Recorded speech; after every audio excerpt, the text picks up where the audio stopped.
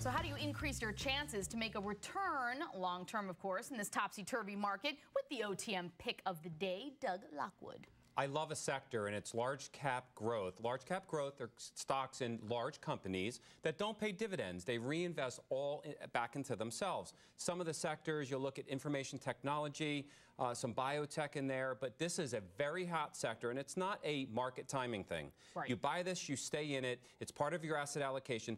Be sure to look at a Morningstar report and make sure if it says large cap growth that that upper right hand box is filled out because a lot of these are drifting in today's market. Yeah. Make sure you don't own a large cap value when it's saying growth and, And so I think on. everybody who's got a 401k IRA has access to large cap, but Without they're not all built the same. So Up- make sure you do a little research. Up 9% year to date on the sector and screaming right now forward ahead of all the large cap value funds. Screaming. Doug Flynn continues screaming. Well, mine's more of a strategy. A lot of people were, were sort of excluded from doing Roth IRAs, which we all love. Uh, and so, regardless of income, you can do a non deductible IRA contribution this year and next year.